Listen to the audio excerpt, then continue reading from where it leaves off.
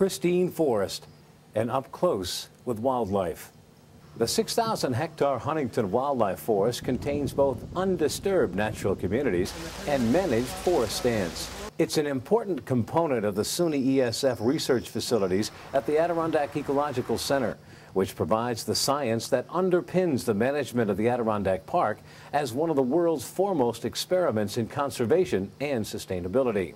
Scientists and science teachers like this group on a tour of northern hardwood forest come from throughout the U.S. and the world, using the AEC as a base of operations for research seeking to understand the natural ecosystems of the northern forest. When you first do a clear cut, you get somewhere between 30,000 and 50,000 uh, stem density. By about 40 years, that's down to about a thousand stems. Sorry, uh, that's 30,000 to 50,000 stems per acre after uh, a harvest. That's the, the surge of regeneration you get. Uh, by about 40 years later, that's down to about a thousand stems per acre.